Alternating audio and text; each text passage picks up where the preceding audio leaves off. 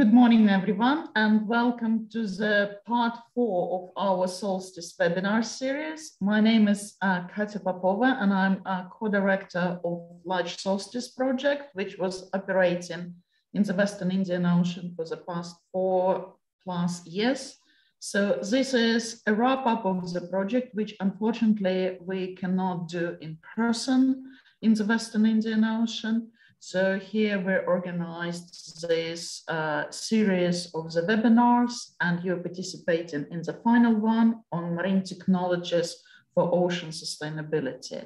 So without further ado, I will pass to Amani, uh, who is chairing our webinar today. Thank you. Hi everyone. So yeah, we've got um, a, a, webinar about marine technology today. Um, and, but we're going to start off with a presentation from um, Zoe Jacobs about our massive open online course, the MOOC, um, which has been which has been really successful, and hopefully some of you that are joining us today will will want to join that. Um, you can sign up at any time. On you go, Zoe. Thanks, Amani. Okay. So yes, good morning everyone. So I'm going to talk about our MOOC, which is called Ocean Science in Action. Um, so first of all, what are MOOCs? So um, I think Amani just said they are massive open online courses. Um, so they act as a, uh, a digital tool to provide education, public engagement and capacity development. Um, and it really just facilitate, uh, facilitates online learning which has been particularly important over the last couple of years. Um, so they basically are made up of a series of lectures, which are um, which can contain videos, uh, some text, further reading, and then there are quizzes as well to keep it uh, interactive and engaging. So they are accessed via an online platform. Uh, so we use the uh, quite a well-known platform called FutureLearn. Um, and it all kind of centers around this um, ocean literacy, which is quite a popular buzzword at the moment for us. So um, to create a MOOC, it takes a really serious team effort. Um, so we have our, our team of lead educators. Um, sorry, Siri just to talk to me. Um, we have our uh, team of lead educators, which you can see on the right here. Uh, and these are um, all associated with the Solstice project, which is obviously what the webinar is about. Um, so these lead educators will be writing lectures and then providing uh, the material to go along with the lectures, which is um, quite demanding. Um, we also have a videographer and a graphics designer, which are integral to creating this MOOC. Um, we want to keep the MOOC extremely interactive, so lots of videos, footage, um, um, diagrams and graphs and things like that to keep it nice and engaging. Um, so it is quite expensive to make a MOOC. Um, we have uh, obviously staff that are needed to provide the material to produce the MOOC, but then it actually costs money to host the MOOC on that online platform. So um, it really needs to be written into funding proposals. Um, it's not a cheap or easy task. Um, and then, of course, we have a mentoring team as well. Huge part of the team when the MOOC is running online, um, and I will go into that in a bit more detail later. So this is our MOOC, um, Ocean Science in Action, addressing marine ecosystems and food security in the Western Indian Ocean. So the course is aimed um, this particular course is aimed at people working within uh, marine related industries like fisheries um, in the Western Indian Ocean or the wider kind of global ocean. Um, but it can be, it's accessible to anyone, to be honest, um, especially because we feature uh, introductions to um, all of our topic areas, which means hopefully anyone um, will be able to follow. Uh, so as I said, this MOOC is uh, featured on FutureLearn um, and it's currently on demand at the moment, so it can be accessed now. Um, and I can provide, um, I'll put a link in the chat to um, if anyone would like to register. So it consists of 30 video lectures um, which are centered on a couple of, of different themes. So uh, innovative marine technologies, which we used in the Solstice project, which I'll go into a bit more detail in a moment. Um, and then challenges of the sustainable management of marine ecosystems uh, focused on uh, our three different, actually four different case studies we have now. Um, and um, the, the, the, topic areas meet um, the uh, Decade of the Ocean objectives and also the UN uh, Sustainable Development Goals. Um, and because of that, this MOOC was actually featured in uh, FutureLearn's uh, COP26 collection. So I'll give you a brief breakdown of the lectures and what the MOOC looks like. Um, so ours is run over four weeks, and then each week has different kind of subject material. So week one, we focus on um, uh, a bit about the uh, UN Decade of the Ocean, Sustainable Development Goals, um, and then we start our introduction into uh, marine robotics. The, uh, the second week uh, continues in the theme of our ocean technologies. So we have, um, we have ocean modeling and remote sensing, um, and like the robotics um, videos on the in the previous week, we have uh, introductions to these technologies, and then we have a, few more lectures kind of targeting specific areas where these technologies can be applied. Week three starts going into some of our uh, case studies. So um, first of all, we introduce you to, uh, to the region, so the Western Indian Ocean, both in terms of um, the, the dynamics and biogeochemistry of this, of this part of the global ocean, but also we go into uh, the economic value of the Western Indian Ocean and who governs the ocean. Um, then our first uh, case study, which is uh, the, uh, about the offshore fishery on, over the North Kenya banks. Um, and then we have our South African case study, which is looking at the um, environmental drivers and socio-economic consequences of the South African chokka squid fishery. And then um, another case study, which is new, um, new uh, to this particular run, which is looking at the world's strongest seasonal upwelling, uh, the Somali upwelling. Uh, and then the final week we have our final case study, um, which is the small pelagic fisheries of the Pemba Channel in Tanzania. Um, we have a whole host of, um, of lectures dedicated to food security. Uh, and then we have a couple of lectures uh, showing you what it's like uh, to go on a research expedition um, on the kind of main ship or also with the marine robotics. Um, and I think uh, we're going to show one of those um, one of those videos as part of this webinar.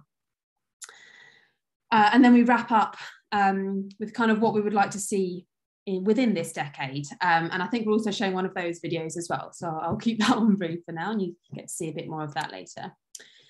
Um, so as Amani said at the beginning of this webinar, uh, the MOOC has been incredibly successful. We've had um, well over three and a half thousand total learners now um, from 140 different countries.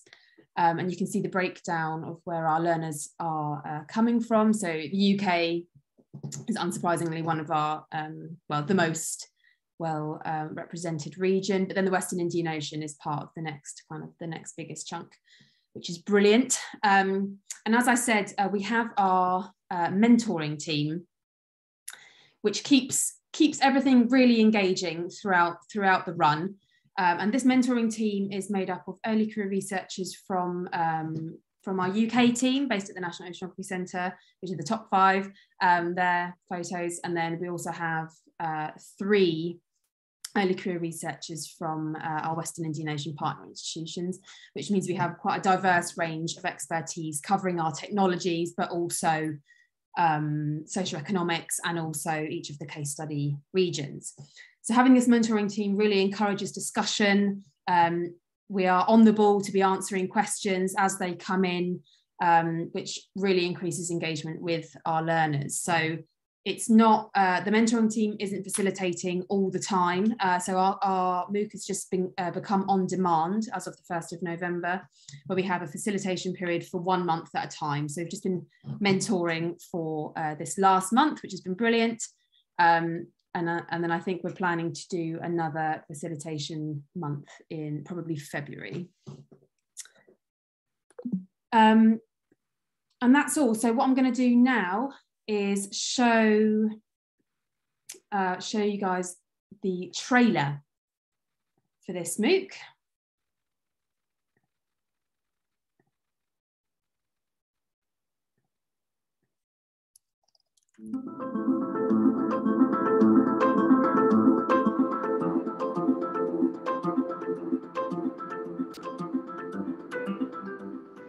Health of the ocean is fundamental to the health of the whole planet. It is a major food resource, and for over 1 billion people, it is their primary source of animal protein. For millions of people, it is also their main source of income. This free online course will introduce you to innovative marine technologies and to their applications, which are contributing to global efforts to meet the UN Sustainable Development Goals. Earth observation satellites monitor the oceans daily, collecting a wide range of marine data, most of which are then made freely available from global archives.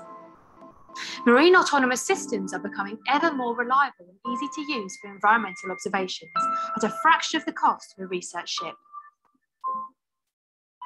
Ocean models of increasingly high resolution make it possible to explore regional ecosystem dynamics and gain insights into reasons for variability and change. Together with our educators, you will explore how these technologies can form the basis for environmental research and monitoring programs to deliver decision support for marine policy and development and resource management. Using case studies from research projects operating in the Western Indian Ocean, you will learn how marine science is applied to study the stability and collapse of fisheries, explore new frontiers of food security, and to understand the implications of the changing climate on delicate ecosystems. The course is aimed at anyone involved in the management or study of marine environments and those interested in the use of technology to study the ocean. We look forward to you joining us.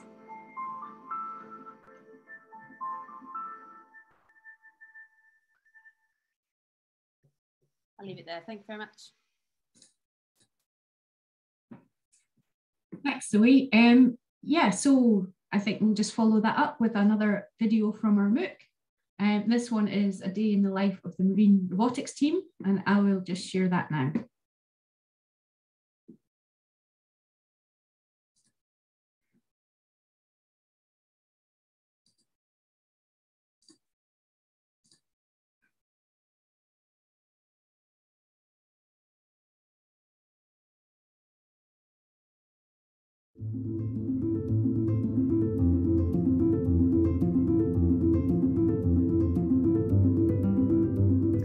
Lecture, you will join an international glider team working in the Pemba Channel off the coast of Tanzania.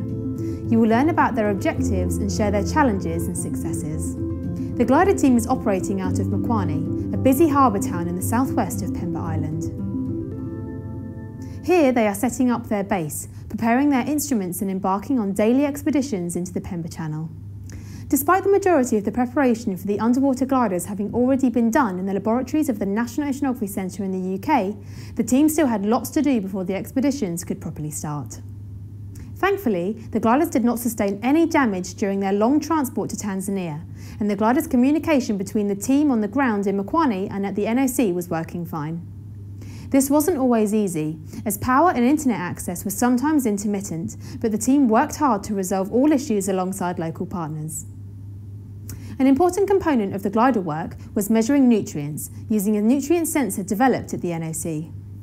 The microfluidic sensor was integrated into the sea glider by Dr. Alex Beaton and measures the nitrate concentration of the ocean as the glider dives between the sea surface and down to 1,000 metres depth. In addition to the gliders, the team also set up the other instruments that were needed for the daily expeditions in the Pemba Channel to measure temperature, ocean currents, weather, and mixing. At first light each morning, the daily mission started with a glider deployment. This meant that the engineers made all the necessary checks during the transit to the designated waypoint of the day. Once the boat was on station, the engines were turned off to avoid any accidental damage to the equipment, and the glider was deployed by hand. Before the glider is allowed to leave the surface, additional tests are run to make sure that the glider is communicating with the pilots back in the UK and that the system checks indicate that the glider is ready to dive. The most important tests are checks on the glider's communication via satellite, so the team can track the glider's location, check its status, and retrieve data. Once all tests come back positive, the glider dives to its designated depth of hundreds of metres beneath the surface and works alone until it next surfaces and communicates home. The successful deployment of the gliders only gives the team a short break, as the more hands-on aspects of the data collection work can now begin. First to be deployed is the Acoustic Ocean Current Profiler, which measures the speed and direction of currents flowing through the Pemba Channel up to 500 metres depth, using the Doppler shift in the returning acoustic signal of free-flowing particles in the ocean. The team can use these data later to understand how currents in the Pemba Channel change with depth and time, and how they transport nutrients from the deep ocean up to phytoplankton at the surface, where photosynthesis can occur. Another important instrument used on the mission is a Rockland Scientific VMP, which stands for Vertical Microstructure Profiler. This profiler measures tiny fluctuations in the ocean over 500 times per second, which provides data that the team will use to estimate mixing in the ocean interior. This will provide valuable insight into how the structure of the ocean is transformed by fast-moving currents and how nutrients are distributed in the Pemba Channel. Combining these measurements with those provided by the glider and meteorological sensors will help the international team to better understand how the ecosystem of the Pemba Channel functions during the southeast monsoon. All good things come to an end, and so does a day at sea. As the sun approaches the horizon, the team perform the last tip of the day and it's time to go and find the glider. Despite having a GPS fix on the glider's last known position, the fast moving currents of the Pemba Channel still provide a final challenge of the day to the team. Using years of experience, educated guesses, and the sharp eyes of the MV Huntress crew, the team were able to eventually recover the glider each night, and the long steam home begins for a well deserved rest and a cold drink. After a long day at sea, it's now a great opportunity to go over the activity of the day and sift through the day's newly collected data and enjoy the sunset. While working at sea always brings a variety of challenges, fieldwork is one of the most rewarding aspects of being an oceanographer having the opportunity to meet with partners from across the globe who each bring their own unique experience and expertise makes these missions incredibly rewarding, providing opportunities to build new collaborations but also friendships. Having the chance to work in the ocean rather than just working on the data from afar also provides oceanographers with improved intuition for the complex processes that contribute to ocean circulation and the marine life it sustains.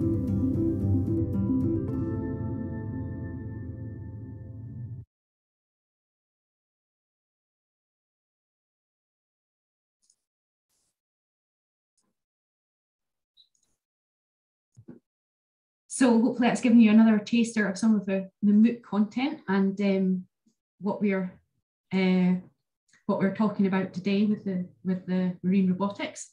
Um, next up, we've got um, Kennedy, Kennedy Osuka, who is um, going to present his work um, that he did as part of the Solstice project using marine robots. So I'll hand over to Kennedy now.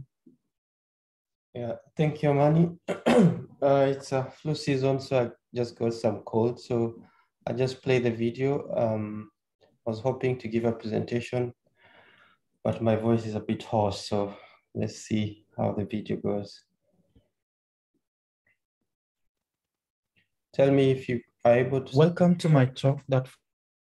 Okay, cheers focuses on application of marine robots for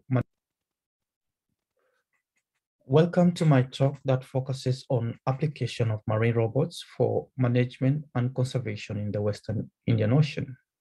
I'm Kennedy Suka and I do work with Cordio East Africa. A bit about the background of this work uh, is that Mesophotic coral ecosystem, MCE, which refer to coral ecosystem found in the depths ranging from 30 to 150 are some of the under-researched ecosystem in the Western Indian Ocean region. A review of the number of MCE studies around the world has shown that the studies of MCE in the WIO region dwarf those in the Atlantic and Pacific Ocean. And I think the main reason for all these is because of the high ship-based costs, logistical and capacity challenges In the recent times, there has been advancement in technology and innovation leading to the development of unmanned vehicles to overcome these challenges. For instance, the autonomous underwater vehicle like Gavia has the ability to survey deeper environments reaching up to 500 meters, can provide high resolution uh, data of the seabed properties, resolution of up to 0.1 meters, and can collect a wide range of data on bathymetry, backscatter, benthic communities, and oceanography, including uh, conductivity, temperature, and dissolved oxygen. This then brings me to the question of why should we be concerned about MCEs? MCEs do provide refuge against high sea surface temperature and fishing pressure. Indeed, evidence of depth refuge effect has been found in artisanal coral fisheries of the Zanzibar archipelago, including the two islands of Pemba and Unguja. Yet, the conservation of relatively deeper environments still remains unclear. So this is onto the motivation of this site. The model data shown here demonstrates how cool region of water visible in the lee side of Pemba Island, identifiable by cooler blue colors, uh, moves over time. The left plot is looking down on the island and Pemba Channel and cycles through one month of model simulation of the sea surface temperature. I just play it again. The right plot shows the same simulation, but as a slice through the black horizontal line shown on the left. There is a lot of variability, but it is evident that the model predicts regular transport or upwelling of deeper cool water to the surface.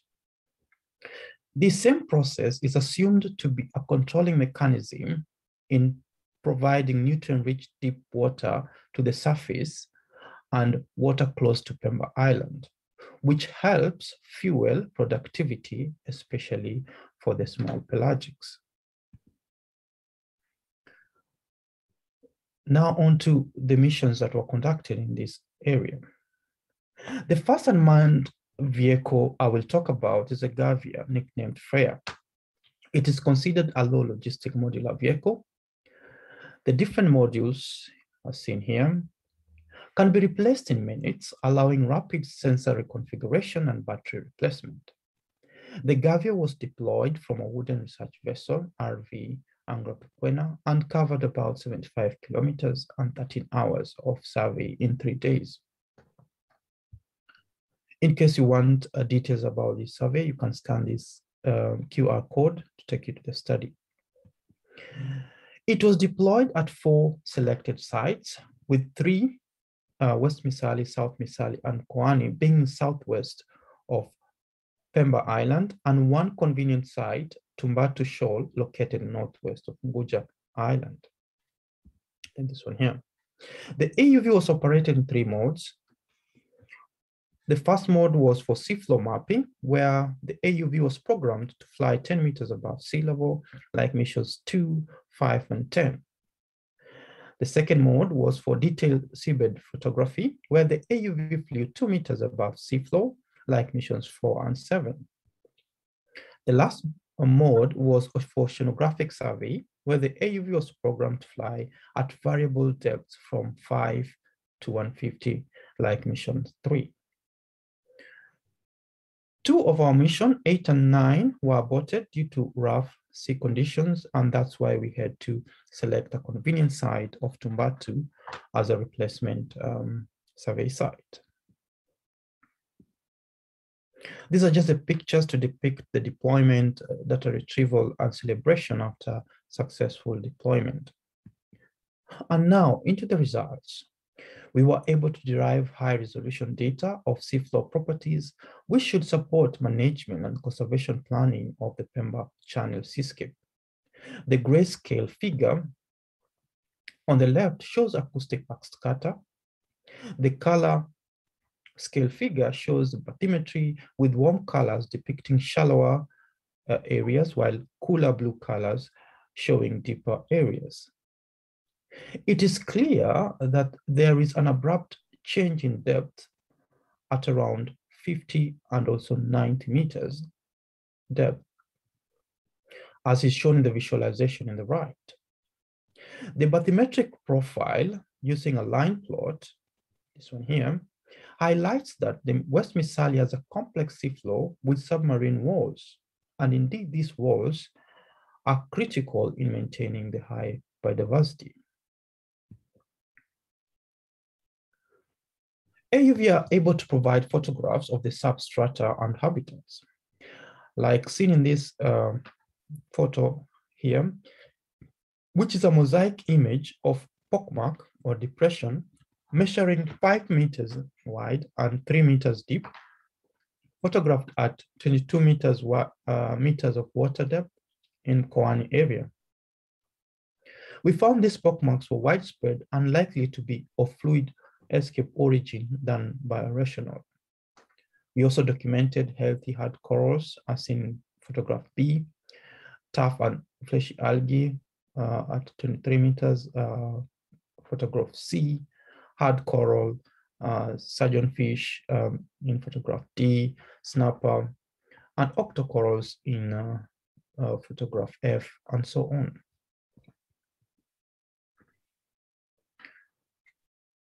Oceanographic data on temperature and oxygen collected by AUV showed least variation in the upper 100 meters, implying that the upper 100 meters is well mixed. Data collected by the AUV can also be utilized to perform predictive modeling to determine areas you are likely to find particular substrata or components of the mesophotic coral ecosystem. For example, using generalized additive models, we found hard substrata, shown by letters HA, were more likely to be found in depths, denoted by D, of 30 meters, and where slopes, denoted by S, were steep. As for corals, shown by letter CO, were more likely to be found in depths of 30 to 40 meters and in areas showing high backscatter, denoted by B.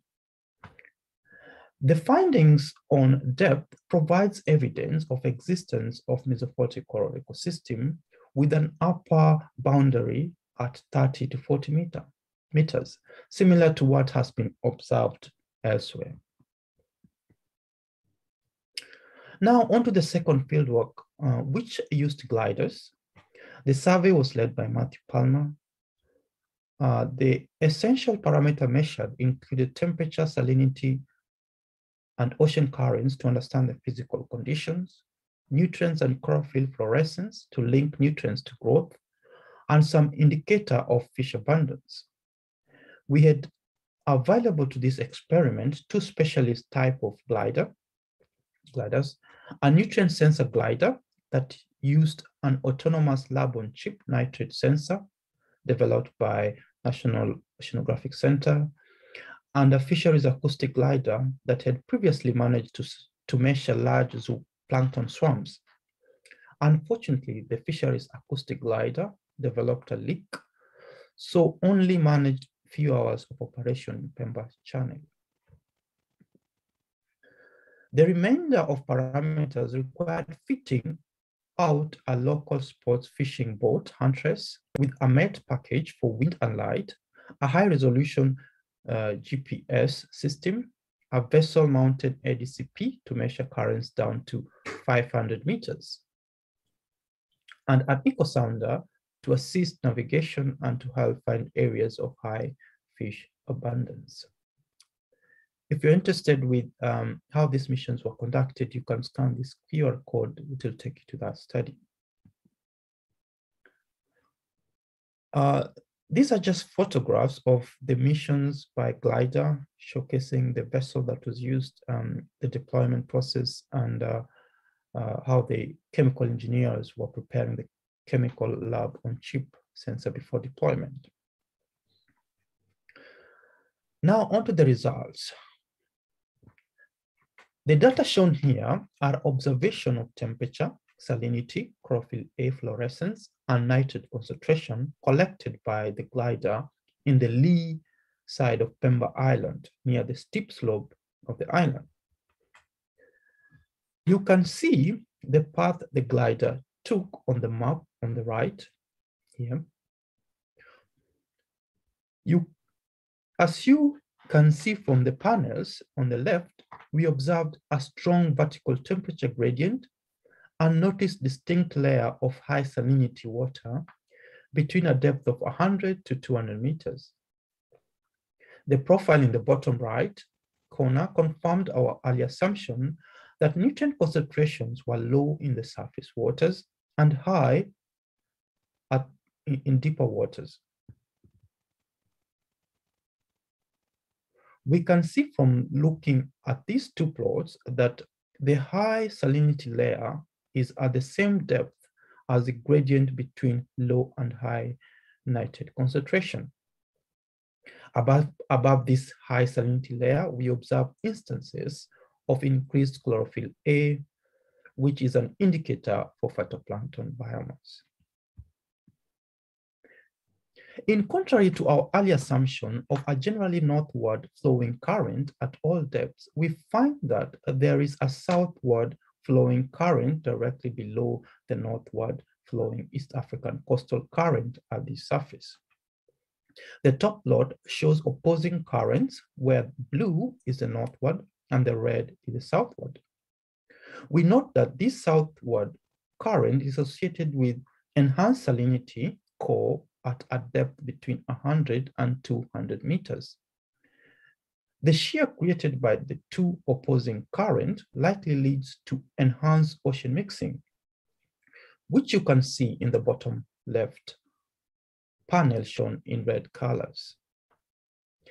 This suggests uh, that mixing due to enhanced shear caused by the opposing currents near the steep slopes of the lee of the Pemba Channel are likely the dominant mechanism to flux nutrients to the light lit layer of the ocean and support primary productivity.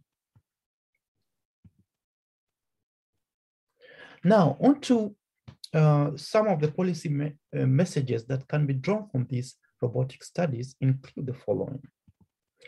One, there's need to build awareness of existence of mesophotic ecosystem and the importance as depth refugia. And this will, will, will need engaging the stakeholders on the need to extend conservation areas to include mesophotic depths and uh, drop-offs. There's also need to invest in low-cost marine robotics, and as technology advances, uh, these are likely to become cheaper and there's also need to amend fisheries and conservation policy to include mesophotic coral ecosystem in management plans. As we found pockmarks widely distributed in these areas, there's also need to conduct studies on the distribution and uh, origin of pockmarks. Detailed monitoring across mesophotic depths range are needed, and assessment of the threats facing them should also be conducted. That brings me to the end of my talk. Thank you for listening. In case you have any questions, you can uh, write to me using the emails provided there. Thank you very much.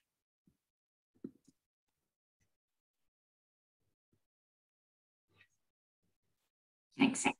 Thanks, Kennedy. Um, so we're going to have a presentation next from Matt Palmer. Um, and then after that, we'll have time for some questions. If you do have any questions, if you would like to type them into the Q&A box at the bottom of the screen. Um, but for now, I'll pass over to Matt, who's doing a presentation entitled Enhancing Western Indian Ocean Readiness for Marine Robots.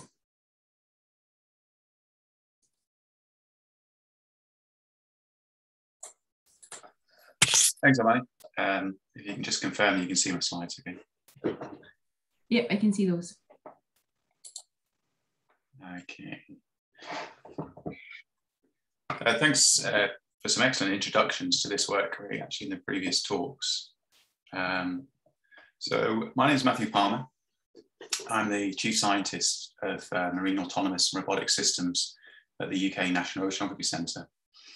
Today I'm presenting some outcomes of a study into the readiness, or the perceived readiness, I suppose, of the Western Indian Ocean research community to use marine robots, such as the ones Kennedy's just talked about, uh, for future ocean research. This work was undertaken with an international team as part of the uh, Solstice GCRF uh, program, which of course is what this webinar is part of.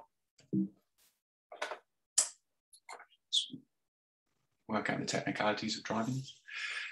Um, so we often see global ocean observing strategies that typically um, include access to a broad range of state-of-the-art oceanographic uh, and satellite equipment, ships, labs, support staff.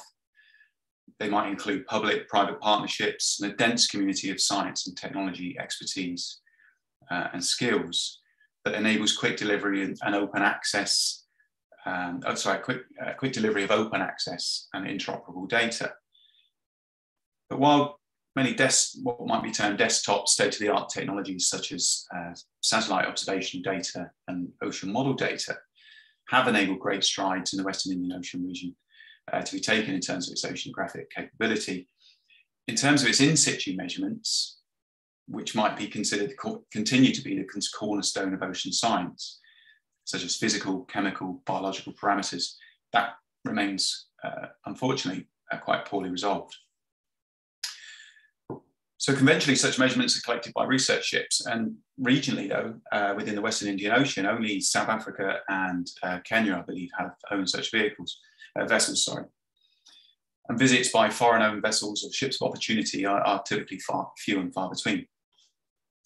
Elsewhere, however, marine robots are starting to change the way we conduct marine research, and you've just got to look at this uh, sort of uh, cartoon really as a GOOS cartoon, but you won't see these nowadays without the inclusion of lots of shiny yellow robots. Um, so we only, and we only have to look at the Argo program to see the potential of that truly global oceanographic perspective that benefits both wealthy and low-income uh, coastal states. So with rapid adoption of marine robots elsewhere, this study aimed to test the readiness of the Western Indian Ocean for such, for such technologies. So I'm not going to spend a long time talking about the robotics missions themselves. You've already heard really good presentations um, around those and the more general um, discussion about sort of some of the ways we went to deliver that. Um, so I think, um, but I'd encourage you to also go back to look at some previous talks in this webinar series that dig into some of the more scientific and technical details. So this study instead will examine the community engagement, cost benefit analysis, and the capacity development aspects of this case study to help assess um, the readiness and usefulness of marine robot technologies uh, in the Western Indian Ocean region. So this slide does just uh, quickly provide a little bit of background if you've missed previous talks to the missions themselves. And in order um, to actually get these things uh, actually operating, already took a significant amount of engagement with uh, regional partners and also included, of course, the uh, participation of uh, those partners with, uh, who joined UK researchers and technologists uh, to deliver remote, uh, multiple marine robots missions to deliver the overarching mission aim, which was itself um, developed through um, quite an intensive and extensive community engagement program that included regional coastal communities, NGOs, uh, Tanzanian uh, national and regional coastal resource managers, and marine policymakers. Uh, the missions themselves required using local resources and infrastructure, as well as the skills and knowledge of local marine experts to undertake what was a series of complex missions in extremely hazardous waters that were continually fast, fast flowing, deep, and remote from many of the large infrastructure support that uh, might be typical for the visiting UK partners. Uh, one element of this was the local um, and regionally sourced uh, boats and crews that were required uh, to manage this deep, both deep and shallow uh, water requirements of these missions. Uh, the shallower aspects of the missions, um, as the talk previous to this from Kennedy um, started with, discussed um, typically less than 100 meters or so, were managed by uh, propeller-driven AUV, which had high levels of capacity, which included things like side scan sonar, quite, which require quite a lot of uh, energy density uh, and benthic habitat mapping to be undertaken. The deeper elements are undertaken within extremely fast flowing waters.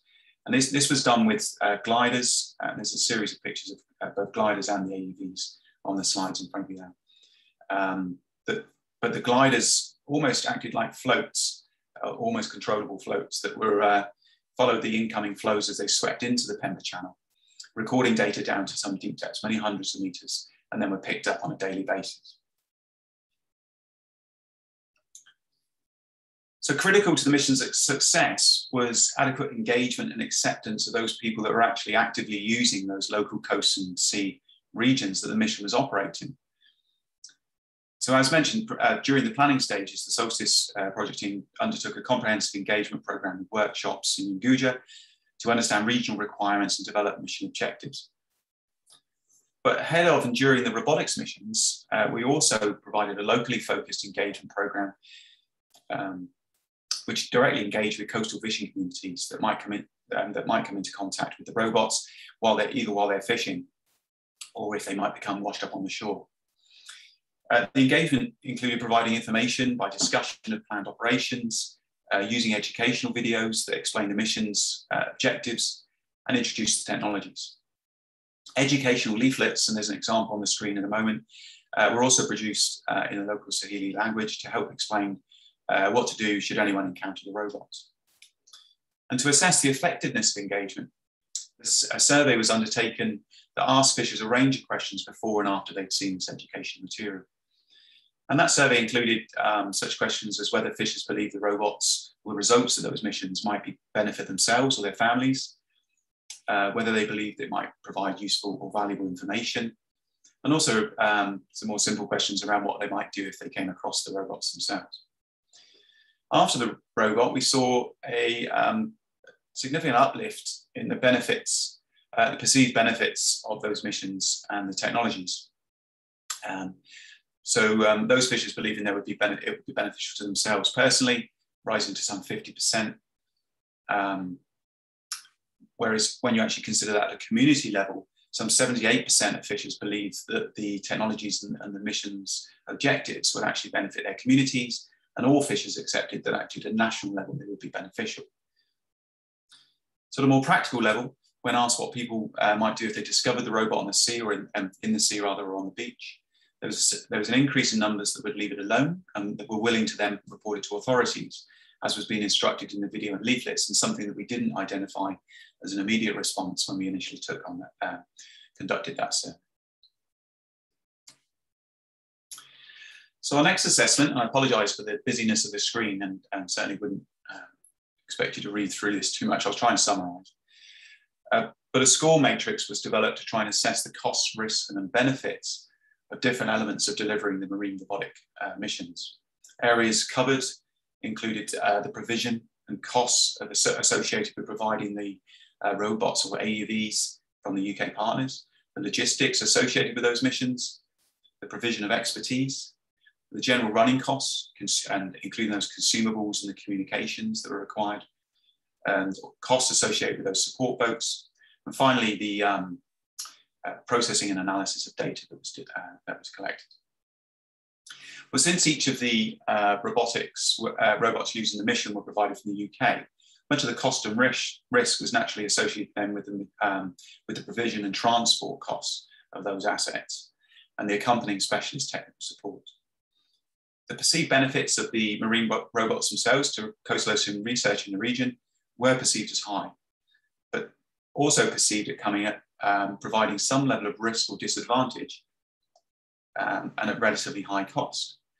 The dependency on services provided by international partners presented high reward through the direct provision of state-of-the-art equipment and highly trained and experienced personnel.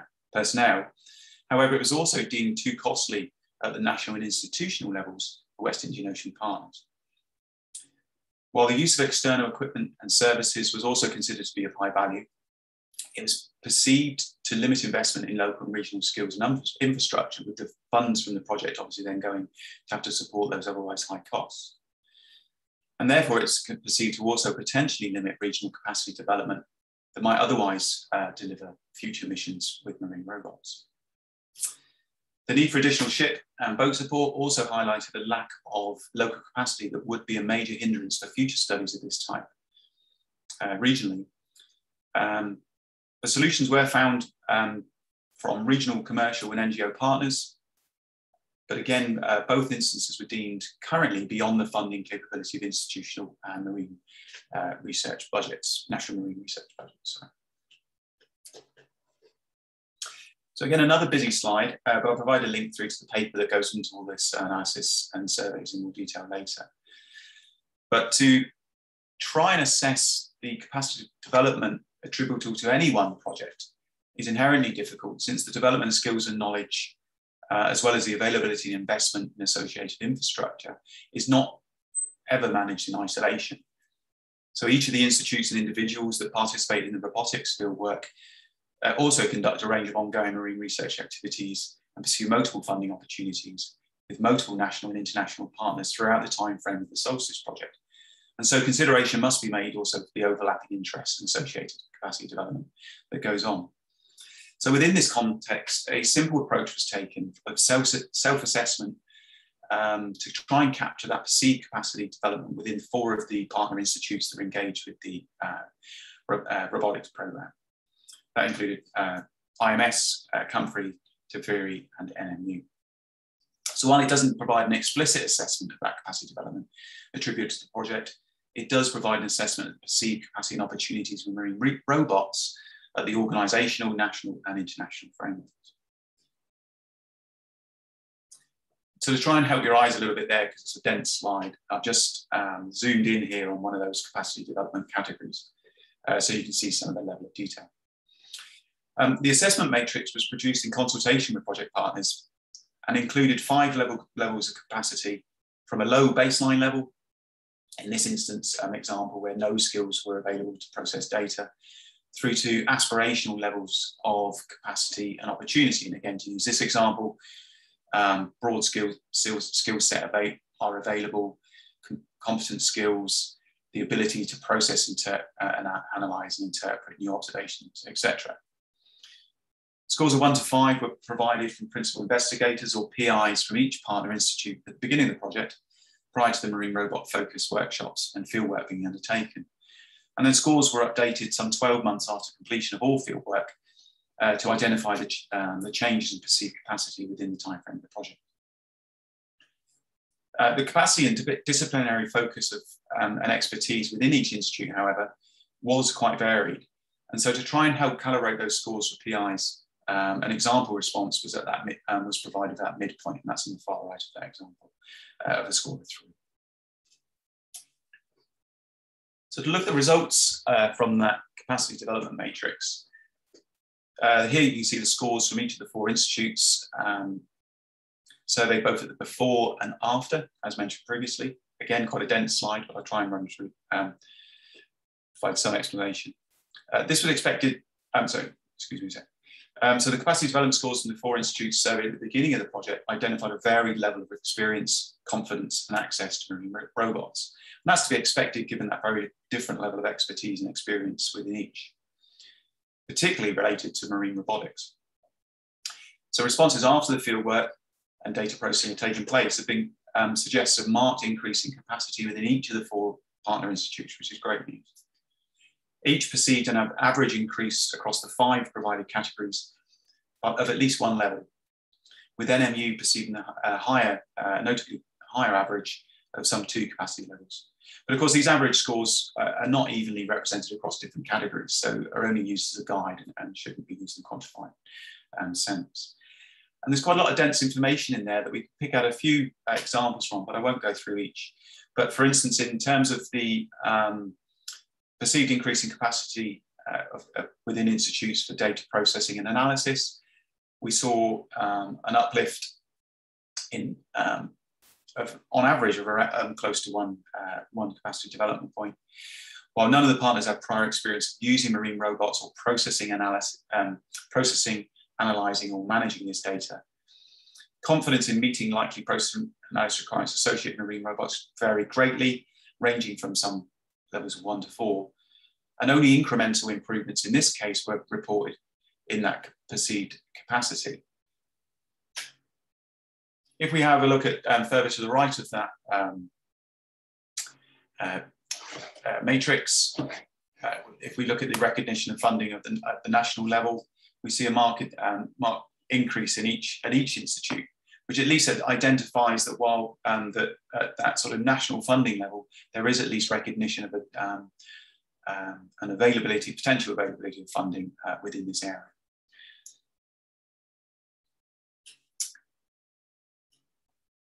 So incredibly dense amount of information there, and I, I apologize for trying to squeeze quite a lot of it into this short, um, short talk.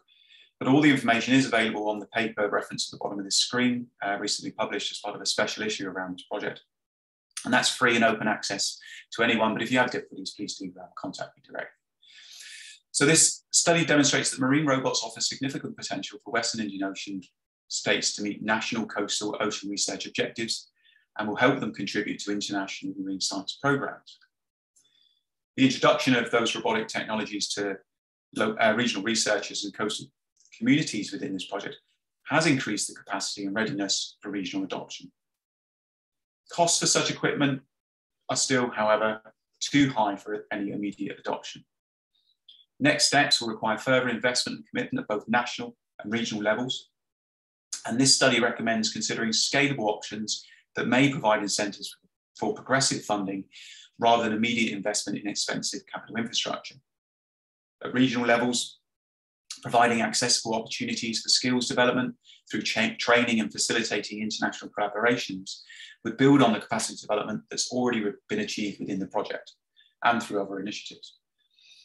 Enabling a regional host facility or centre of excellence for uh, marine robots where sufficient skills, facilities and experience might exist to host collaborative future international partnerships would certainly provide a key route to attracting future funding and, and further international partners and while, while supporting also further regional uh, capacity development. As has already been mentioned in this series, the emerging availability also of smaller, cheaper marine robots may also provide one accessible way to continue to develop some of these skills and develop that, um, continue to develop confidence and reputation around what has already been achieved here. And further investment in local skills and su support facilities would also help promote local buy-in and likely reduce cost and risk while feeding further into regional capacity and benefits for future marine research activity. Uh, so thank you for your time. Uh, again, I've just put, dropped the um, reference there and uh, I'd encourage anyone to go and look at the papers also within that special issue. Thanks.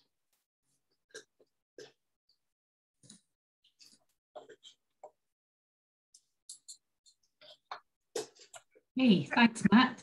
So hopefully those set talks have given a really good overview of, um, of marine robots and the work that we've done using them within Solstice. Um, I'm just going to hand over to Julianne now, and she's going to host uh, the Q&A session. If you have some questions, if you put them in the chat, or um, you should be able to also raise your hand and we can allow you to speak if you would like to ask a question that way. Great, thanks very much, Amani, and thanks again to our three speakers um, for your very interesting talks and to mostly keeping to time. Um, at the moment, I don't see any uh, questions in the Q&A box, um, but I've got a couple of questions for our speakers. Uh, I think, Kennedy, for you first, um, uh, it's quite impressive how, uh, what detail you can see from the SATSAN scan sonar from the um, Gavia that you used um, from West Misali, those really steep slopes. Um, but you did mention that uh, so far there hasn't been a lot of research being done in the Western Indian Ocean, and you think that's because of um, costs associated with ship surveys. Um, so do you, but do you think that the current capabilities of marine robots are as good as traditional ship surveys? Yeah, I think they are. I would say um, the, the amount of effort required to do surveys in the, of the deep environment is quite large, uh, but marine robots do offer a slightly uh, cheaper option uh, to do the surveys with um, uh, limited um, capacity or with limited staff uh, compared, let's say, with ship-based. Of course, there would need to be like uh, more capacity uh, development for people to be well versed with the knowledge of using marine robots. But I guess with time, once they uh, ask, they have uh, adequate skills, then they are able to conduct those surveys with few people. So like uh, the Gavia, I believe um, if you have uh, maybe four or five staff, you can do the deployment once you're well equipped. But if it's ship-based, uh, I think it requires a lot of um, effort, uh, not only uh, with the cost of equipment, but also the ship time cost, which is quite high. Okay, great. And so to follow on from that, um, you suggested in your policy recommendations that uh, it's really important to engage stakeholders appropriately to um, uh, particularly about the extension of conservation areas. So do you think that uh, now that we have more marine uh, robots available, do you think they will help engage with stakeholders to um, to extend those conservation areas? Do you think these are effective tools for that? Yes, I do. One thing is, um, if you look at the way marine protected areas have been assigned previously in the West Indian Ocean, is that they, have, they did not take into account the deep environments, and that because there was not enough data of the deep environments. Uh, and what you don't know, you don't protect, or you don't uh, put any effort to it. So there's need, first of all, to en engage by highlighting, first of all, the existence of these environments once that is known through education and awareness, then you can start um, maybe changing policies to make sure that uh, things such as mesophotic or ecosystems are included in management plans uh, or any fisheries or um, conservation policies. And with that, they have a place in legislation, and then it becomes quite easy to protect or uh, do any research on them. Great, sounds like a really good plan. Uh, now, uh, coming on to Matthew, um, you were saying that um, marine robots are now uh, have a firm place in global ocean observing strategies. And um, you did mention a couple of kind of broader things uh, in you said that you could uh, do to improve marine robots. But so, what do you personally see as kind of the best one, or one of the most uh, efficient or best developments in the next five or ten years? Is it mostly cost driven or is it uh, durability or more sensors? Thanks, Julian. Um, it's a good question. I mean, if we actually look at often with the this type of robotic instrumentation, we often look to Argo uh, for quite a few answers because that is a global community. There's a lot of global buy-in, and everyone benefits. But that's largely because of the Lagrangian nature of these things. You throw them in the ocean, you've got no control over where it's going to go it therefore fits into everyone's everyone's back um, you know, backyard space. I think gliders and the the robots that Kennedy uh, has been involved with as well, the prop-driven AUVs, are a little bit more targeted. And that's why they're quite useful in the coastal ocean environment. So we, I don't think we quite got the framework in mind yet to allow open access to that type of technology. They are still expensive.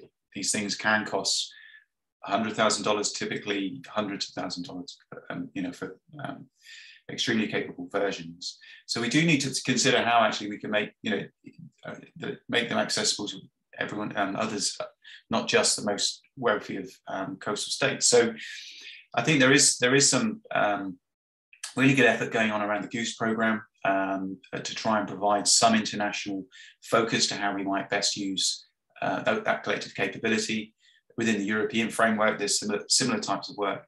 And I think one of the recommendations um, that we came to in that uh, paper I highlighted was that a regional hub still seem, seems to be a very good option in that space, but that does require what is always very difficult because it's political, is actually that sort of joined up regional funding and then making those very tricky decisions about where those hubs might actually sit, you know, whether that's a benefit because those hubs might attract funding, but they also might provide quite significant burden. The next, the other way to approach this, of course, is what's also been mentioned both by myself and Kennedy this morning, is around those smaller, um, potentially cheaper uh, technologies. We do start seeing some smaller robotics that might not be as capable as the types that have been talked about today, but at least get us some of the way there. And, and as technology improves, battery technology improves as well as the sensor capability. Um, that could that could provide a, a, really good stepping stone, I think, towards that. The great thing there as well, of course, is because it they might not require the same level of infrastructure support, but people can start developing some of the uh, capacity developments maintained uh, and skills are developed and it attracts, uh, includes um, regional partners in part of that global discussion around where marine robotics needs to go. Hope that answers the question. Great, thank you. Uh, hand back to Amani now. Hey, thanks for those talks and really interesting discussion there. Um, so we're going to take a short break now, just for five minutes, and then we'll come back with some talks about um, modelling and remote sensing and, and their use um, in, in Solstice. So uh, we'll be back at 10 past 12 after a short break.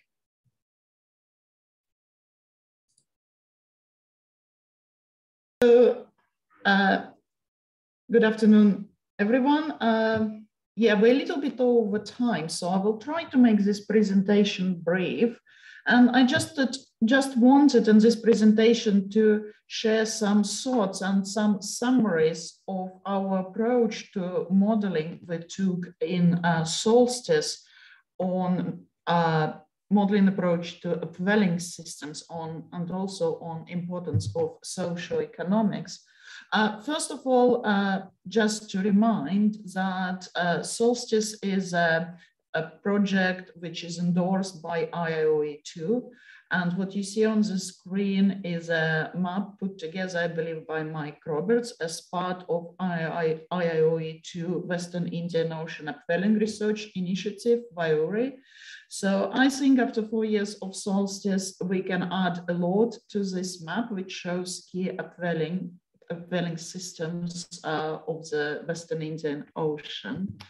So uh, I think what is coming from solstice is the need to look at the seasonal upwelling systems as social ecological systems and that they are sitting uh, together between open ocean and coastal driven mechanisms. So there are multiple mechanisms sustaining those systems as there are always some something very peculiar, very unique about topography and kind of more coastal winds, but predominantly they're driven by the open ocean.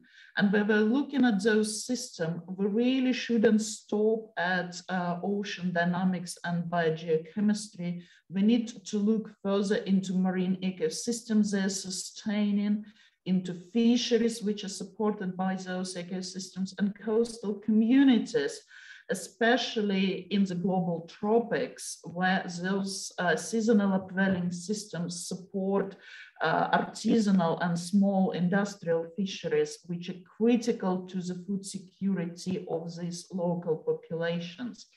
And right now there is quite uh, huge decisions are made at country scales on investment into blue economies based on our understanding of uh, those, how those systems functioning, uh, very often very imperfect understanding.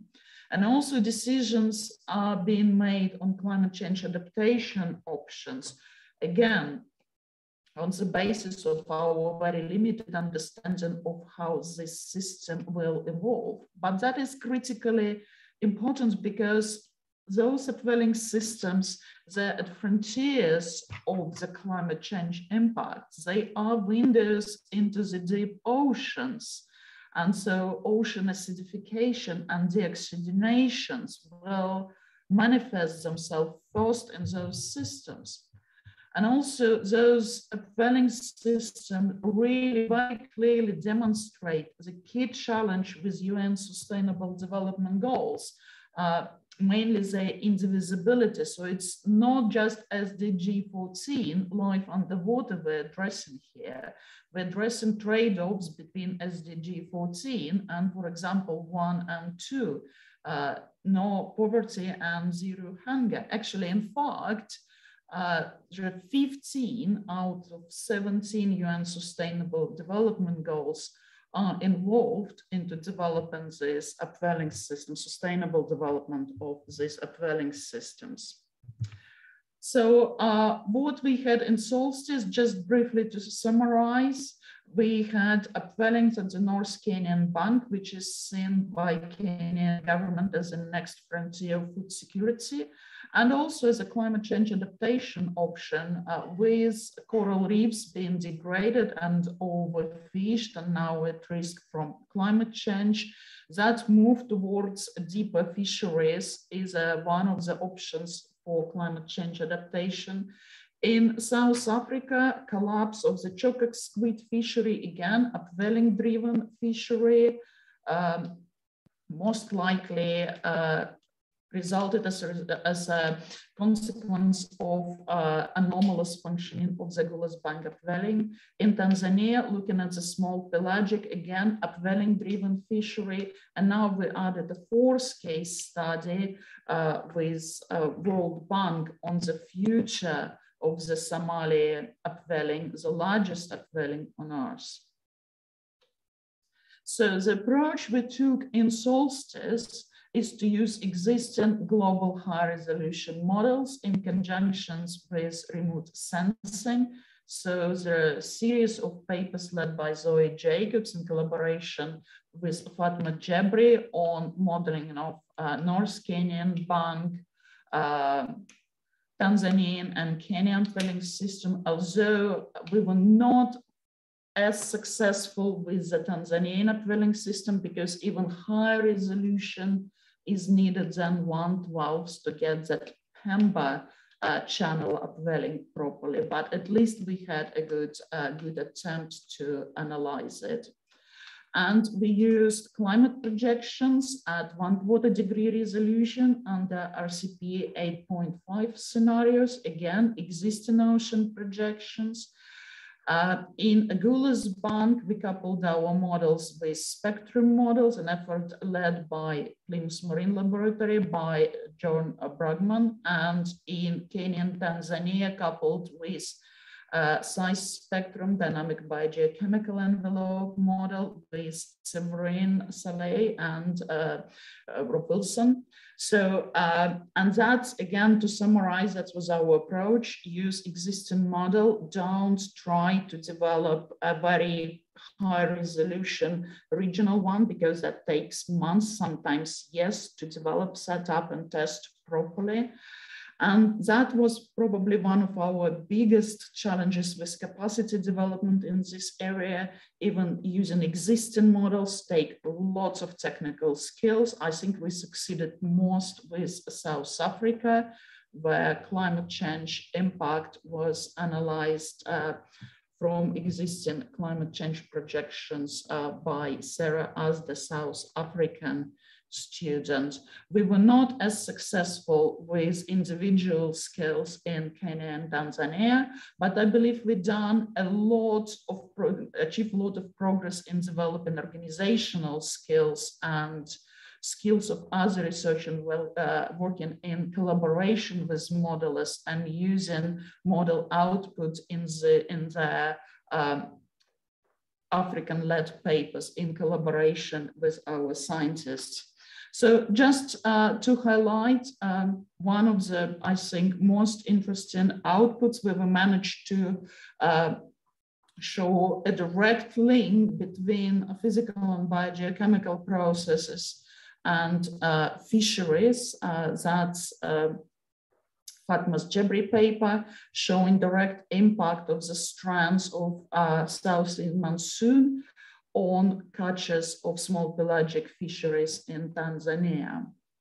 So another one, uh, one on the North Kenyan Bank, uh, led by Zoe Jacobs and Fatma Jebri, again, on the really interesting behavior of North Kenyan bank ecosystems, uh, upwelling and ecosystems. So it's a tricky upwelling which tends to move around, doesn't sit still. And that particular paper look at the El Nino, where during this really interesting year, this upwelling moved from EEZ of Kenya into EEZ of Tanzania, which led to uh, which led to highest catches of uh, high, highest landing in Tanzania and very low landings in Kenya.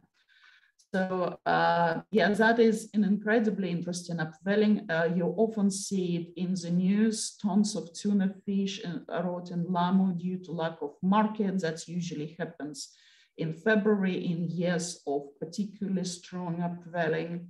And there was even a very interesting uh, little study which Fatma Jebri done in real time to analyze what's going on with unusually high catches uh, reported in Kenya um, with very anomalously strong upwelling in uh, 2020.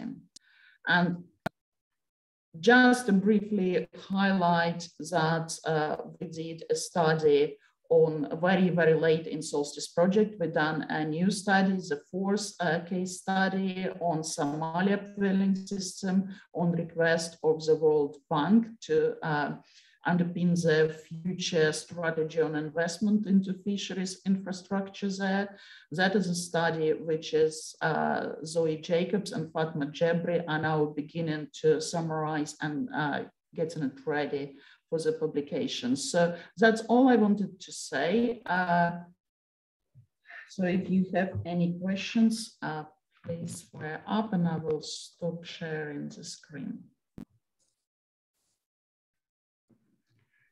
Thanks, Katja. Yeah, once again, if anyone has any questions, if you could type them into the Q&A box and we will take them um, after the next two talks, then we'll have time for some more questions. Um, unfortunately, Fatma hasn't been able to join us today, um, but she has sent me her presentation, so um, I will play it for you just now. Um, it's about uh, machine using machine learning and remote sensing to investigate the influence of the Agulhas current on the um, Agulhas bank phytoplankton. So I'll just play that um, video now.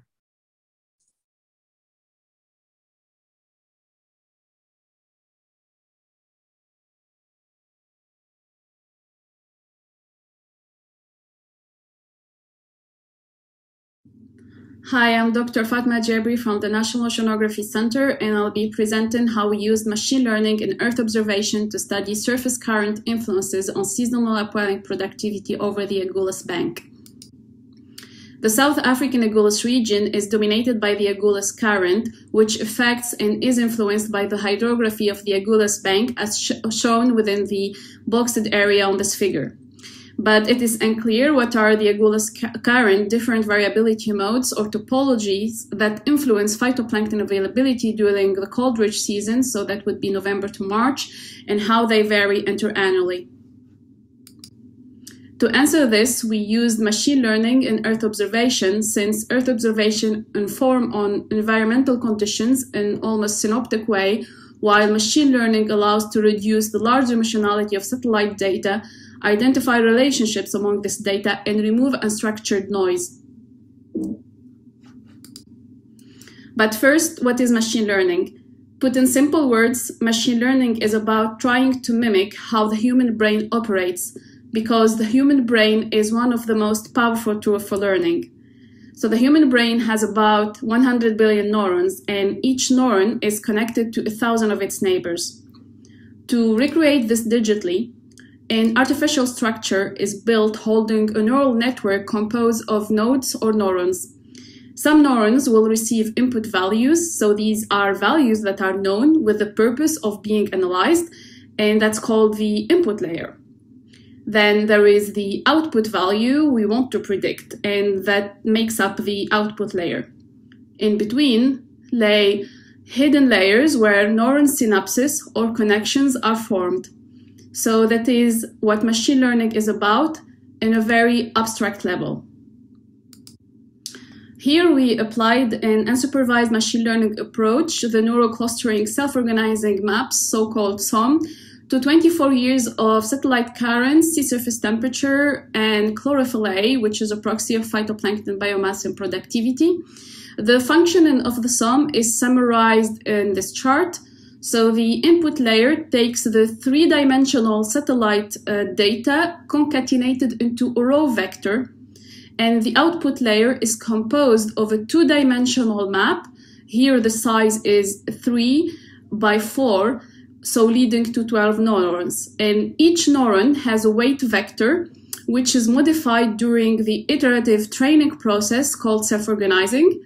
And when a winning neuron is found, its weight vectors and neighboring neurons are updated. The SOM final outputs are reshaped back into 2D images. Moving on to the analysis of the SOM results, the 12 characteristic uh, SST and surface current patterns, so P1 to 12, over the Agulhas area of interest during November to March 1997-2020s are shown on this figure.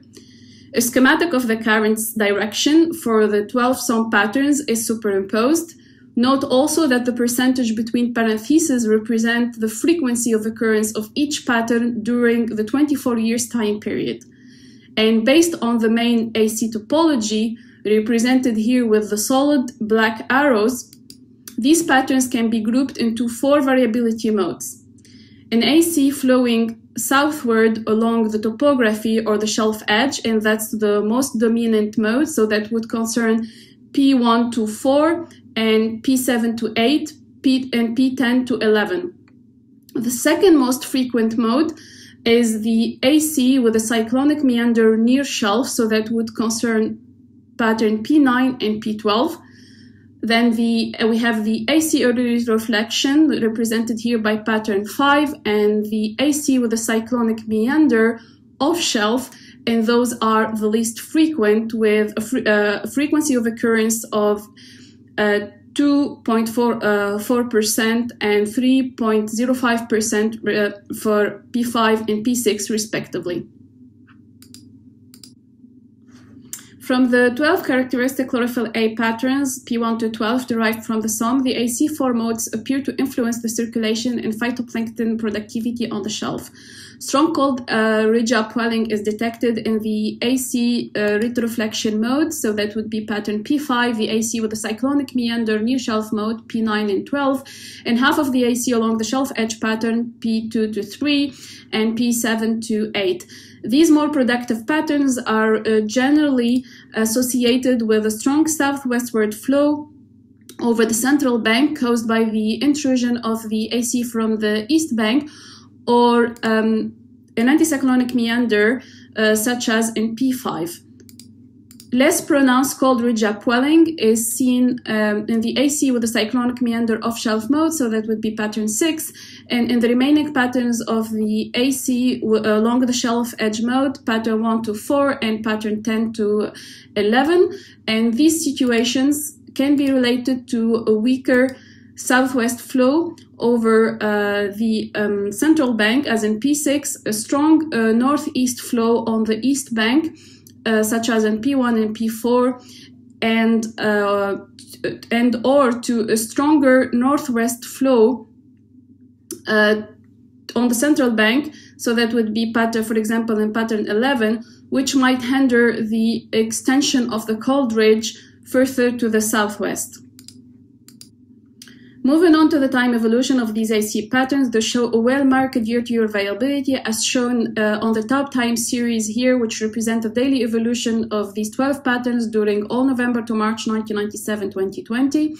And from this time series, we can see a typical pattern sequence such as in 2016-17 and other anomalous events such as uh, 2000-2001 in typical conditions, only the AC along the shelf edge mode is, uh, is present, and we only see uh, patterns 1 to 4 and pattern 7 to 8, pattern 10 to 11, as the example here of to, uh, November to March 2016-17. The anomalous unusual pattern sequences, such as November, March 2000, 2001, they show less frequent and fewer patterns than a typical season.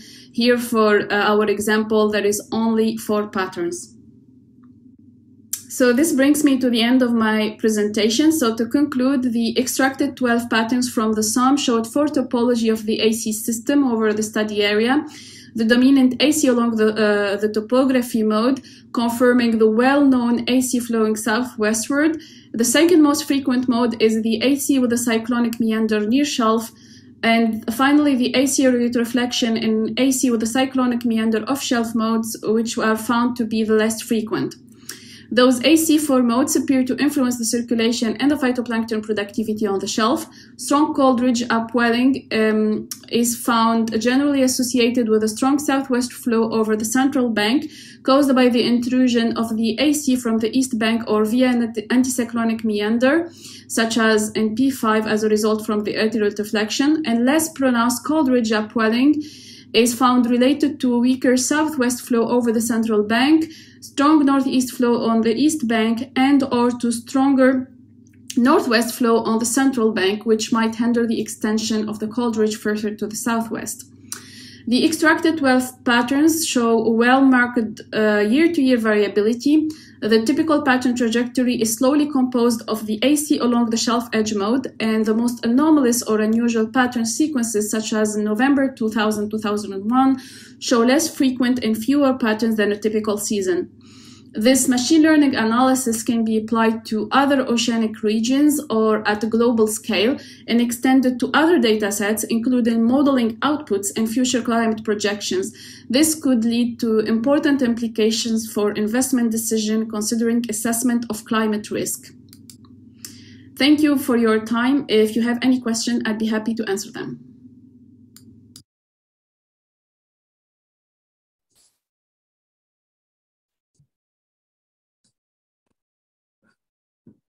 So thank you to um, Fatma for sending that in. Unfortunately, she can't she can't be here today, but um, as she said at the end of her uh, talk, if you would like to email her, then she'd be happy to answer any questions by email. So next up today, and that's our final our final talk, and um, before some questions and discussions, we have um, Ana Queirós. Um, talking about preparing for climate change. Hi, thank you so much. Uh, well done for staying to the end. Um, so my talk will be about climate-driven opportunities and challenges for the spatial use and management of Tanzania's marine environment. And as you can see, I've acknowledged uh, our authors here. It's been a real group effort um, led by Liz and I here at PML, but working with many of our partners um, in, in Tanzania as well as NOC. Sorry, it's taking a little bit of time, but I'm sure you'll catch up in a minute. So marine spatial planning um, and, the, and blue growth in Tanzania. Um, the blue economy refers to the sustainable use of the ocean uh, and its resources towards development. And it has a particular relevance in coastal areas of Tanzania, um, whilst, for instance, uh, in Zanzibar, it was about a third of uh, GDP in 2019. So whilst the blue economy uh, may represent a small proportion of GDP for Tanzania at the national level, in certain areas that amount is actually significant, and it is thought to employ about 4 million people uh, across the country. Of special value uh, to the blue economy are artisanal sectors like fisheries and seaweed aquaculture. In addition to this, there is a growing momentum for conservation in Tanzania. For instance, the Rufiji-Mafia and Kilwa UNESCO Man and Biosphere proposal, which is expected to go in this spring and has been a long process, will designate a large area um, of the coastal uh, ocean in Tanzania. Um, and so management of these uh, relationships between different sectors are especially important in Tanzania at the moment. And marine spatial planning is the process through which we can do that. And and how to balance um, that uh, wanted uh, blue economy growth with um, conservation aims. Um, so it is a process through which we can set priorities in different areas, whilst we can balance the needs of different sectors. And therefore, it's also a key mechanism to support the delivery of the United Nations 2030 Agenda for Sustainable Development, which is at the core of uh, Tanzania's marine strategy for 2050. Now, climate change represents a massive challenge to this delivery. Um, as we saw in previous presentations, for instance, from the work that as uh, Zoe Jacobs published um, earlier this year, the climate change is expected to have significant effects in the coastal and offshore waters of Tanzania in the coming decades. And of particular concern are uh, marine heat waves. Um, some data there from Simon van Gennip, one of our collaborators at Mercator Ocean. Um, and recent work by Rob and other colleagues here at PML earlier this year as well has shown that this is likely to have important effects on um, fisheries, which support a large proportion of those jobs of Tanzania's blue economy. So what we see there are projections for um, uh, the biomass index for key species of interest to Tanzania as well as Kenya. And you can see that um, as climate change, uh, this is considering only RCP 8.5, so a scenario of um, growing emissions uh, doubling from the current rates by mid-century. And you can see that alongside um, climate change, in, an increase um, in uh, fishing pressure represented there by the MSY um, may, may, lead to, decline, to the decline of many important species at a national level. So the aim of this study was to try to identify climate resilient strategies to the spatial management of key sectors of Tanzania's blue economy. So balancing out um, both the impacts as well as the opportunities for seaweed harvesting, marine conservation, and artisanal fisheries in Tanzania, whilst considering that, for instance, conservation also has a key role in supporting the tourism economy. So the approach was to use climate modeling, um, some of which was shown already today in Katya's presentation, um, that was um, in, in many instances in the world, this type of data has been previously identified as a key decision support tool that can enable the development of these climate smart strategies for marine spatial planning or MSP. However, the uptake um, in Europe, in, in Africa, and around the world really remains low. And the reason for that is that we tend to analyze these data sets focusing on long-term um, horizons, which are not tangible uh, to industry consultations that are have to be undertaken and community consultations that have to be undertaken as part of the planning process, which tends to have much shorter uh, sectoral objectives. And because climate change is not always tangible, especially to local communities, for instance, um, stating that temperature will go up by one degree or that pH will go down by 0.3 units is often not something relatable. Um, and it is sometimes difficult to, to determine how that might impact specific sectors of interest to people and to industries. So we recently developed um, a method to, uh, with that specific focus of informing marine spatial planning processes uh, using climate modeling.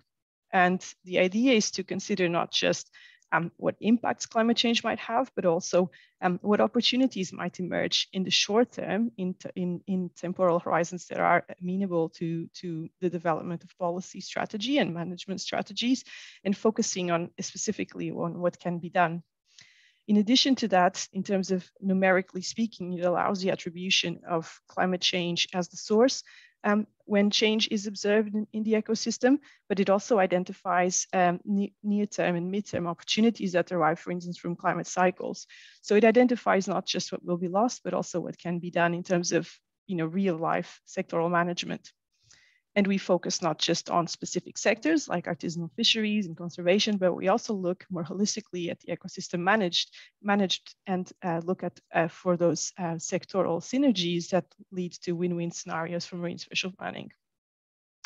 So in summary, what we do is we start with uh, state-of-the-art ocean climate modeling. In this case, we used uh, uh, Nemo Medusa outputs from the biogeochemical modeling uh, led by um, Zoe, which was published early this year, and also the uh, uh, mechanistic species distribution modeling led by the um, PML team. And then we select data layers that are of interest to describe each of those sectors, so seaweed harvesting, artisanal fisheries, and the marine conservation sector in Tanzania. And for each of those cases, each of those three cases, we then undertake a sector-specific spatial random effects meta-analysis of the modeling, which allows us to identify the emergence of the climate signal. And what we then do is in a spatially explicit manner and for specific timeframes, we then identify where are those very sensitive areas, so the climate change hotspots where the activities of specific sector will not be sustainable in the midterm. We look for the climate change refuges, so the areas where there is higher resilience of the natural ecosystem underpinning each of those sectors to climate change. So where activities might continue to take place more or less as they, as they are now. And we also look for the bright spots. So those places where, because of climate cycles in the midterm, we might see a temporary improvement of habitat conditions that may support sectoral growth. So then we provide spatial maps that identify the distribution of those areas, so the very sensitive areas, as well as the, the resilient areas and the areas where opportunities may occur. and we overlay to that um, GIS data, so uh, geographical information uh, system data sets that explain, for instance, where fishing effort is distributed, where key habitats are distributed. And in this way, we then look for the um, within sector opportunities as well as the cross-sector synergies. So giving now a quick uh, sneak peek at our results as this is work in progress, so the paper is not, is not finalized yet.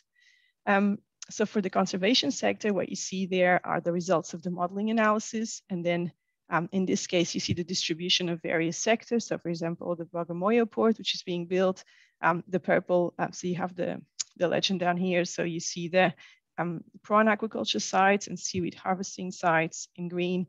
And then you see the distribution of, of fishing efforts. Um, this is for the larger vessels, so taken from uh, Global Fishing Watch. And if we zoom in, then you can see that there are, um, then the background color is the actual uh, modeling analysis. So um, you have the, the, oh, the legend's not showing, it's actually showing here. So the green areas are actually where we see the climate signal emerge and the black dot tells us where um, the system is actually entering a new state because of climate change pressures. And then the yellow areas are the opposites, so the opposite trends. And so what we see is that in, uh, in this analysis, which was for the mid-century, so the 2040s compared to the present decade, and under this um, higher emission scenario than we see at present, we see that the coastal area is actually quite sensitive and that this affects not only various areas where we have important uh, eco uh, blue economy activities like seaweed harvesting, um, but also the protected areas, which in this case are particularly important. So you can see the purple lines here are protected sites but also the, those key habitats. So for instance, in orange, we see here the coral reefs, um, we, we see seagrass and mangrove areas, we see turtle nesting sites.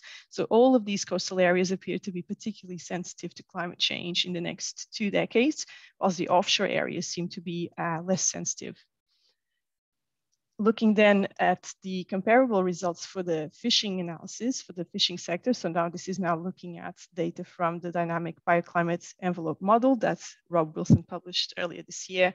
You, we, what we found was that there was actually um, high sensitivity of some species. So for instance, some tuna species were very sensitive to climate change and that's the green color while some other species, so for instance, in this case, the Sardinella, were actually um, not as affected by climate change. And when we looked at to compare this to uh, the data that was published by Rob, what you see is that these lines here below the, the midline indicate the stocks that would uh, uh, fare less well in the climate change. And the, the top lines are those that through compensatory mechanisms between these um, fish assemblages, we might actually see potential increases in biomass. So what we found was that there was this pattern of some species being sensitive and some species being less sensitive. And that's, um, that was the pattern over most of the uh, Tanzanian EEZ. Now, it is important to mention that um, this model, despite being sort of a high-end model uh, for these types of species, it does not include, for instance, the uh, forcing effect of heat waves on populations of fish or indeed their key habitats, which many cases are uh, coral reefs. So um, these are more or less uh, very conservative estimates, we would say, uh, very conservative estimates. Um, and then we did similar analysis for the seaweed harvesting sector. And in this case, we focused on Zanzibar um, uh, and uh, um, because and Pemba, because these are areas where you can see here, there's high concentration of seaweed harvesting areas. And also um, it's important to mention that seaweed harvesting is a particularly socially important activity in Tanzania because it's primarily undertaken by women. And therefore um, it's a key uh, route out of poverty for many of these um, coastal communities. And what we found in this case is that this M giving the, the estimate of the climate signal is that there are indeed very strong climate trends in the region, but that um, uh, in this case, we did not see uh, the system entering a state um, outside of its current variability. So it, we did consider heat waves in this analysis and seaweed are particularly sensitive to heat waves. Um, but uh, we could see that whilst we see a, uh, a climate uh, trend, it is not indeed uh, a climate signal. So the system remains more or less um, within uh, current variability. So these are main main findings this far, and now we are working with our sort of um, with our in-country partners to develop sort of the social interpretation of and cultural interpretation of these data. But what we see, so under these RCP 8.5, so the higher emission scenario, we think that increased, increased emissions represent key challenges to Tanzania's blue econ economic growth and sustainable development. So one and two, so um, decreased poverty and uh, uh, uh, ending hunger, but also five, which is about gender parity, and of course, uh, SDG 14, which is about the life in the ocean. Um, inshore waters appear to be particularly sensitive to climate change, affecting uh, all of the assessed sectors. Um, and coral habitats and other related species seem to be especially at risk from higher emissions because of their location um, in terms across um, these spatial patterns. So we saw, based on our data, variable sensitivity of species targeted by the artisanal fishing sector. But again, this modeling does not account for the effects of heat waves on the demographics of fish species or indeed the loss of coral, which has been observed already that um, coral species are particularly sensitive across the coast of Tanzania, where bleaching events have been recorded already. So the work in progress is indeed to continue working with our Tanzania-based colleagues to explore the sectoral and social implications of modeling analysis and our paper is in preparation and we hope to have the first draft um, at the end of this month. Thanks very much.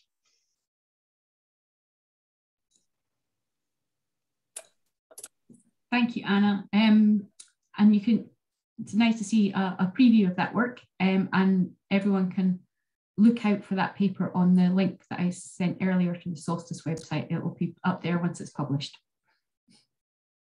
I'm going to hand over to Julianne now to handle any any questions. Once again, if you can put them in the Q&A or if you want to raise your hand, then we can allow you to, to speak and ask the question yourself. Great, thanks Amani, and thanks again to the speakers for the really interesting talks. Uh, I'm going to start with you, Katja. Um, you're telling us about the uh, modeling in the West Indian Ocean and uh, talk, told us about four uh, different upwelling case studies. Um, so for you as a modeler, um, what are kind of the main hurdles um, that you face when you model um, the upwelling system uh, in the Western Indian Ocean? Well, for us, the biggest difficulty when we start looking at the model results, all upwelling systems are unique. So right now, there is no universally applicable method of detecting them uh, in the model. So it takes a lot of um, very focused analysis for each upwelling system, working side, uh, side by side with remote sense sensing experts. So that, I guess, would be the biggest issue that unless you know that upwelling is there and uh, it is important, you wouldn't otherwise easily detect it. I see. Okay, so quite a bit of work actually. Thank you. Uh, yes, and Ana, uh, Ana, um, you uh, give us a really interesting uh, talk about your really holistic approach to ecosystem management. and uh, what I find really exciting actually that you will think about threats but also opportunities within your research going forward into the future. So um, we can see that some species of fish uh, are either more or less um, uh, um, susceptible to climate change. But did you find that some species, uh, was there change over time did some become more or less susceptible to climate change? Did you find anything like this? So the uh, the thanks for the question. So the model doesn't account for adaptation, if that's what you're asking. But so the sensitivities of each species are set off um, at the start of the runs, and then uh, the analysis compares the present decade with different decades in the future. So I showed you the results for the 2040s, but we also looked at uh, one subsequent decade. And what we found was that um, so the so the sensitivities compared based on the change in their distribution. In this case, we look at abundances um, uh, on on a spatially in a specially explicit manner. So the sensitivity, what what the analysis showed was that um, if you took the whole assemblage as one, we actually found that the climate signal does not emerge. And the reason for that is that while some species are strongly uh, sensitive, and they, uh, so those were the green, I showed you the example of the, I think it was the tuna, which decreased very sharply across the whole of the EZ, but other species were actually less sensitive. Um, and that on balance did not produce an overall decline in the assemblage that is targeted by artisanal fisheries. So I think I answer your question in that the, there is a change over time in the different populations and that then affects the whole resource that's targeted by the artisanal sector. But the sensitivities in themselves don't change over time, i.e. we set them up at the start of the modeling runs and that's what we consider throughout the whole analysis. I hope that makes sense. It does make sense. Thanks. Yeah, that, that's uh, really interesting though. Um, but it does suggest though then that there could be actually some opportunities. So with these kind of fairly long time scales, you do now have time to create policy recommendations for Tanzania to say, well, maybe you can um, fishing efforts should go uh, down certain species rather than others. I guess that that's one of the outcomes from a research. Is that right? Yeah, so um, so if you were to take those results at face value, what it seems is that there might be opportunities offshore, particularly, but that the inshore habitats, which are particularly targeted by the artisanal sector, are the most affected. However, I just want to highlight in a massive caveat that these models don't account uh, for um, changes in the key habitats like coral. So a lot of these species um, really need the coral to, to, to, to maintain sustainable populations. Um, and so that's a key effect that's missing from this, this work. Um, and also uh, heat waves. So the more extreme climate events are not really captured in these simulations.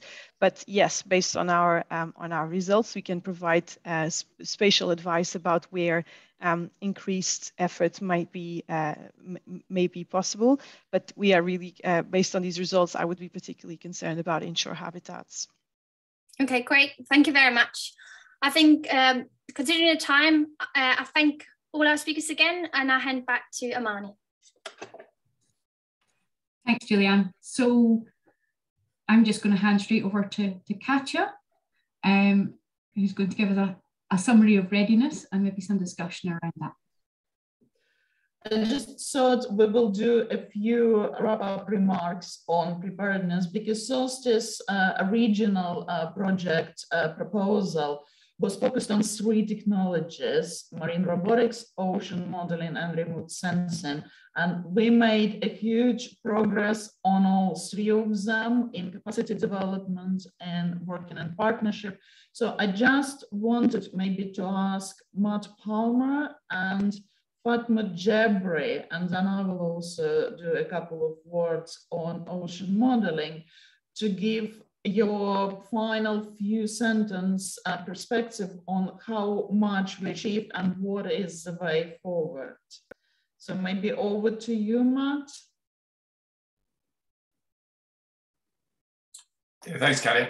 Um, we had a little bit longer time today, I think, to, to sort of highlight some of those. And like I said, there is a um, there's a reference that Alani provided in the chat to anyone to link through to that paper that I've mentioned, which does set out not necessarily a roadmap. I'm not sure we were that far in our understanding, but at least some recommendations that seem to be coming out of the work that we did. I mean, to go back to that roadmap point, I think further work is is actually needed because I mean, the, the, from the terms of in terms of the sort of technology and in terms of uh, marine robots and um, autonomous solutions, which of course aren't just the shiny yellow robots we throw in the water, but some of the sort of autonomous intelligent data solutions that we are being developed all the time. And that improves the capability of that type of equipment. So it does, there is growing potential to take away some of the burden, for instance, for actually trying to fly these things through the water. Uh, Kennedy mentioned earlier about how many people might be required to run these bits of kit, and that might still be up in sort of significant numbers of people and still maybe require some sort of ship support. And the more we can do um, to try and provide some of the solutions to help minimize the costs uh, there to take some of the, the, simpler tasks that but some of the ones that are quite onerous still. Um, so for instance, um, sort of uh, autonomous command and control so that people aren't necessarily always looking um, to make sure these very expensive bits of kit aren't getting lost or broken. Obstacle avoidance, these are all bits of work that are going on in the background. They're all, all fairly slow levels of development, but we need to make sure that they feed back through so that people can cherry pick the bits that are most relevant to them. And I think trying to identify um, the two ends that I mentioned at the uh, end of my talk, if anyone missed it, but you know, there's two ways I think to look at this really in that either providing, if individual nations aren't necessarily able to invest fully themselves to, to, to increase that capacity to, to um, inc- uh, invest in that infrastructure, whichever the technology development we're talking about, um, can they look at regional solutions, regional hubs? Can they uh, look at how they best share uh, resources, uh, particularly skills, I think, as well. uh, and opportunities. How funding works across national boundaries is always a tricky one, but um, I think that's worth looking at. And then the other end of that is how do uh, regional actors here actually stay part of the conversation? Because if they require different needs, for instance, smaller, cheaper vehicles than maybe some of their more wealthy um, national counterparts, they need to be part of the discussion around that R&D process. So they need to make sure they've got something fit, that's fit for purpose in 5, 10, 15 years. Um, so more questions than answers, I think, at the minute. um, I think there's a bit more work done to be done in trying to help set out that technology roadmap. Um, but I hope we made some good progress there. I think we got certainly got good feedback on as well. Great, thank you, Matt. Um, Fatma, are you with us? Any yes, comments with you? You've done a huge amount of work in uh, work in, in your own uh, led research, but also uh, in collaboration with Kenyan, Tanzanian, and South African scientists. So a few comments from you. Yeah, I think um, like the use of satellite observation has has has been really uh, huge and very beneficial to the whole project, as you said, Katya, and specifically, I think for uh, our Western Indian Ocean partners. Um, I think the way forward uh, about that. So at, at, the beginning of the project, there was for sure uh, like um, some kind of like um, I wouldn't say an issue, but um, the intention was uh, to try and um, make this uh, satellite data more accessible and uh, also easier to be used in whatever research question we have, especially from the Western Indian Ocean side. And for sure, uh, we've been able together to um, tackle many of the questions we had, but th there is still, I think, a need, um, especially from like the Western Indian Ocean side, on how to continue using this data. Um, especially that there will be a new generation of satellite data that would require maybe um, new types of methods to be used and to apply and to answer our questions. So yeah, that's what I wanted to say. Great, thanks Fatma. And I think from uh, my modeling perspective, when we started the project, I think that uh, the biggest challenge with modeling and capacity development was in lacking really convincing examples, existing examples to persuade our partner institutions and modeling is something worth investing into. And also getting a message across that it is a huge effort and requires skills. And yes, it requires investment into people who would be uh, doing it for their training, for their time to spend. So uh, that was our biggest challenge. So I think we succeeded quite a lot with convincing many institutions. I think probably uh, most successful one uh, was in uh, Kenya, convincing countries that yes, something very useful is coming from those modeling effort. It's not just purely theoretical uh, improving our understanding of uh, physics. Now it has direct relevance to the fisheries and the understanding how to manage that fishery and probably on the Agulhas Bank as well, but that is still remain to be seen. We might be close to develop an early warning system based again on joint effort between modeling and remote sensing. So yeah, we have achieved a lot. Uh, there is still a lot to achieve, but I think I'm coming to the same a conclusion as Matthew and as Fatma Jebri that one of the best way forward is uh, go forward in collaboration. So that's what we need to keep doing, building collaborations and uh, working together because it's not only individual skills to work with models, it's also skills of working with other experts in this modeling expertise and using this expertise. So that, that's my final thoughts. Any other comments from anyone on this topic before we conclude our seminar series?